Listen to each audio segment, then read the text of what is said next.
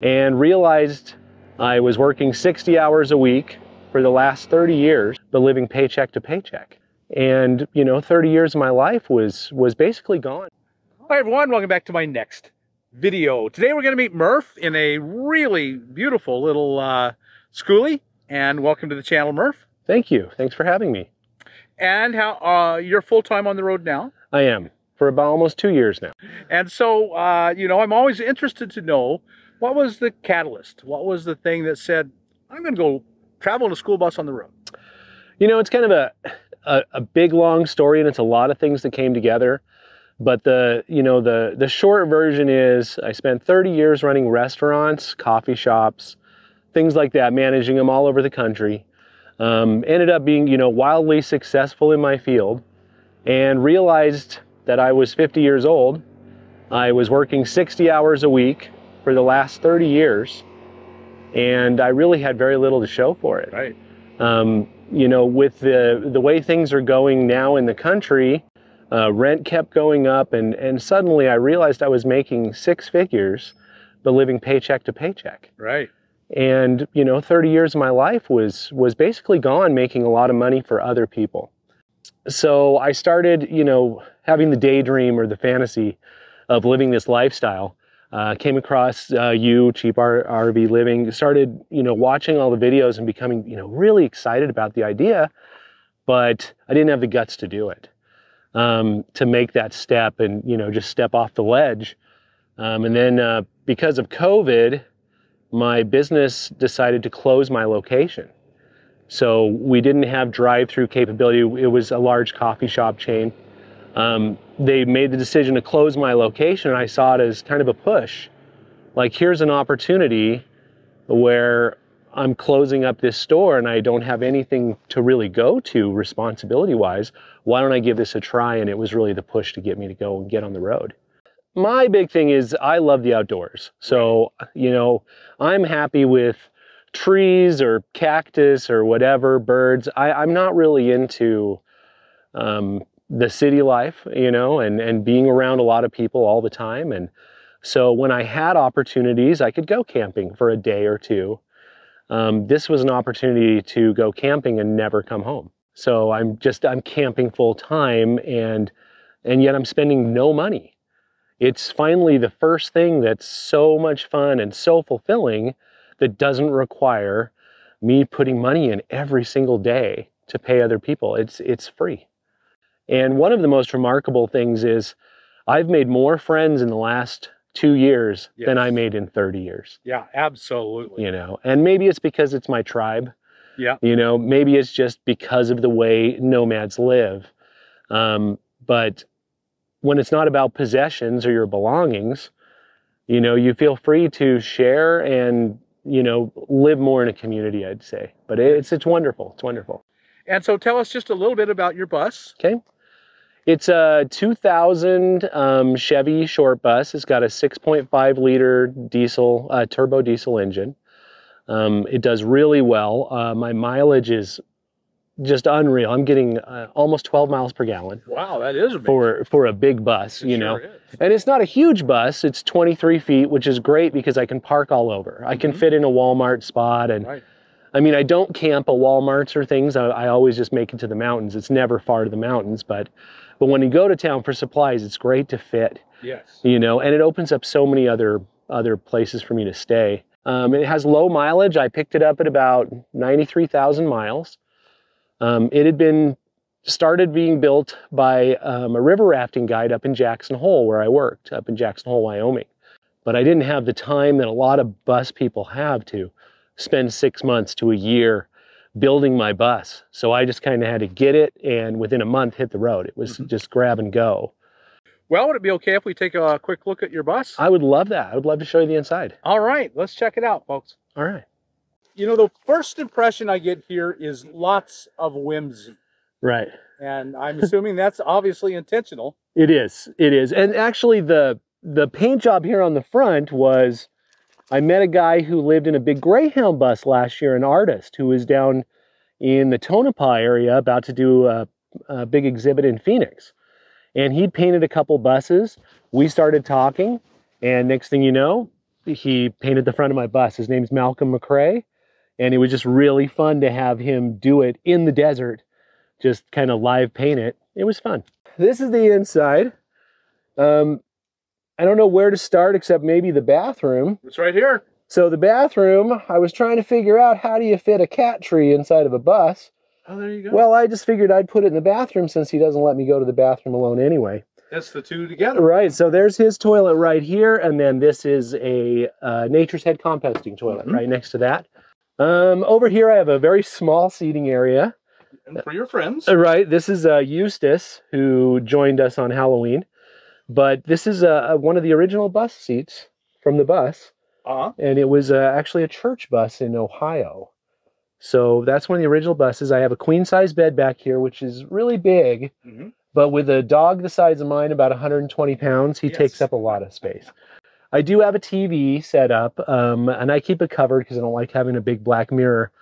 But um, I have a pull-out refrigerator down here Right. for my food. Tons of storage down there. Yep, I've got a lot of storage space under that big bed area. Yeah. Um, this is where I keep most of my food, my pantry. I actually have a terrarium up here. Wow. So I have a little rainforest environment that comes with me to the desert. Kind of it reminds me of home.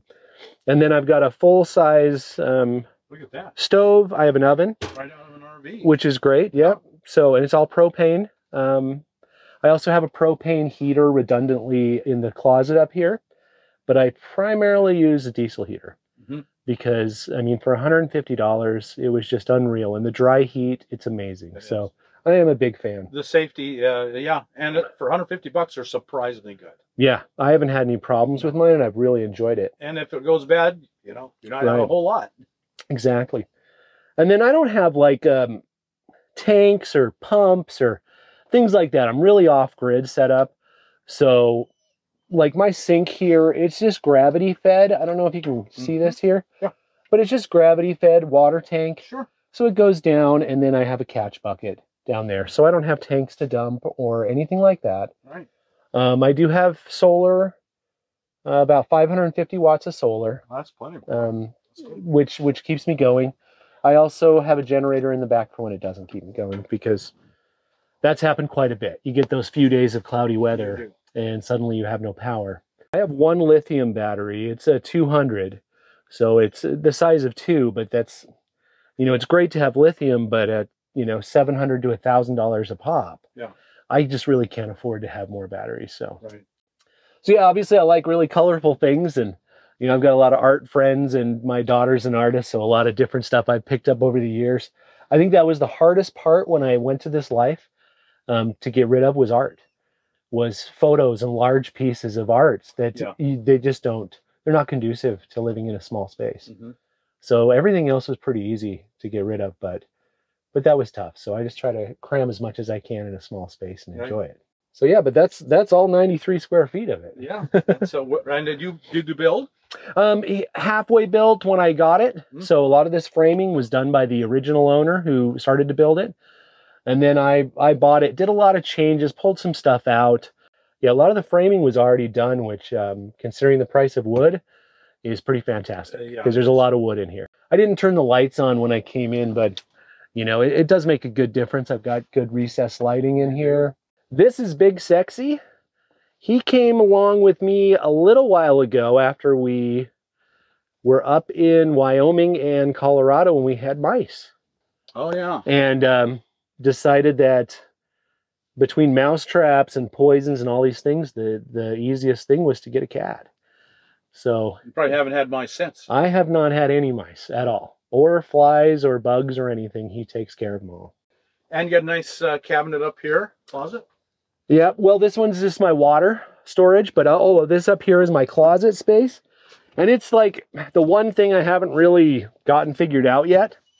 But I've got a um, Oh yeah. Mr. Buddy heater in there that's hooked directly to my propane lines. It is a space for clothing, other things, but it kind of ends up being dog food and my catch-all. Catch all. It's like my stand-up junk drawer for the bus.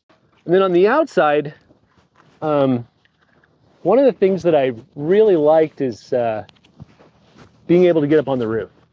It's been really neat. Like when we were up in Yellowstone, um, my daughter and I were up on top of the roof, and we got surrounded by 200 head of buffalo. So we couldn't get off the roof. We were surrounded by this herd of buffalo. And then a ranger came up and he looked up and he said, Well, I guess you're okay up there. Just don't come down till they leave. And we said, Okay. Well, before you know it, all the tourists were taking pictures of us on the bus instead of the buffalo because it was so neat to be that immersed in nature. But yeah, I, I love it up there. I've got 300 watts of solar. And then on the other side, I put a big 250 watt panel. Right. Um, and the reason why I think that is so great is when you're down here in the desert in the winter, well, the sun doesn't go overhead. So my top panels don't get much, but as long as that panel is south facing, that sun just cruises along the horizon all day. Right. And it becomes my primary panel all winter. Whereas in the summer, my top panels get the most of it. So Right. it's been it's been really neat. That's a very, very good idea. My propane tanks for my oven, um, and then I have uh, you know obviously backup gas generator right here, and then this is my tank for my diesel heater. Mm-hmm. And this is a ladder to get up up top. It is. It's a little tricky, but it works. And then here's the panel. And so it Yeah. doesn't tilt at all. It just It does. I actually hinged it on top so that I can tilt it upwards in the summer. I've got it mounted down hard right now because I don't want to do that in the winter. Right. But in the summer, I can take off those bottom mounts and I can tilt it up. It's interesting. I do so much better in the winter because it's Arizona, you know? yeah. And I'm in Wyoming, Montana primarily. That's my stomping ground. So Lots of, those uh, pretty places have a lot of trees and I lose my solar. Online, everyone told me I shouldn't. There's all the naysayers and Right. people that, you know, follow this lifestyle or or different things and they say, "Oh, well, you're not ready. You know, you're not a diesel mechanic. Don't buy a diesel bus. You know, you don't know how to do this or that, so you shouldn't be out there." And I went anyway and I've had a wonderful time and I've learned so much on the road while I'm in the process. So it's about that fear, that push I needed to go. And that's kind of why I named the bus Courage the Cowardly Bus, because I was so scared to do this. And it was getting that courage up to go out and do it. And it's just been a wonderful life so far. So it was just going to be a trial for, for a short term. Yeah, I I had quite a bit of savings put together for, you know, because I never got vacations because I worked so much. So I decided, you know, I'm going to take a year and kind of do a sabbatical and just go live this lifestyle, um, enjoy it, and then I'll just come back to work.